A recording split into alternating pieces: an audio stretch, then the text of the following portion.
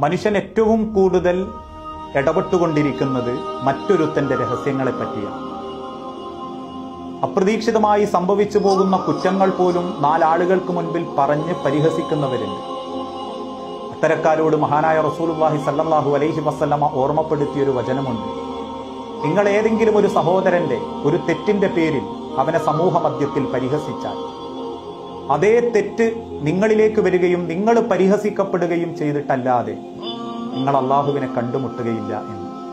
സഹോദരങ്ങളെ ചില കാര്യങ്ങൾ അവിചാരിതമായി സംഭവിച്ചു പോകുന്നതാവാം. ഒരുപക്ഷെ അവരുടെ സ്വഭാവത്തിലുള്ള വൈകല്യങ്ങളാവാം. ഒരുപക്ഷെ അവരുടെ ശരീരത്തിലുള്ള പ്രകൃതമാകാം. രൂപം കൊണ്ടും ഭാവം കൊണ്ടും മനുഷ്യനെ അളന്ന് കുറ്റപ്പെടുത്തുന്ന ഇന്നത്തെ സാഹചര്യത്തിൽ എന്റെ നേരെ ആ ഒരു പരിഹാസം വന്നാൽ എനിക്ക് എത്രമാത്രം വേദനയുണ്ടാകും അള്ളാഹു നന്നാവാൻ അവസരം കൊടുത്താലും നമ്മൾ കൊടുക്കില്ല എന്ന് ചിന്തിക്കുന്ന ഒരു മനോഭാവം ഒരു വിശ്വാസിക്ക് ചേർന്നതല്ല ഒരു മനുഷ്യന് ചേർന്നതല്ല.